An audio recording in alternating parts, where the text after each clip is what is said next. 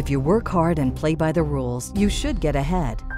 But the Republicans have rigged the system in favor of their campaign contributors. Middle class families are struggling, cuts to education are hurting our children, and our seniors are stuck paying higher taxes, all while big corporations get billions in tax breaks. It's time we had an economy that worked for everyone, not just the wealthy. We need our values in the State House. Michael Stack, Democrat for State Representative.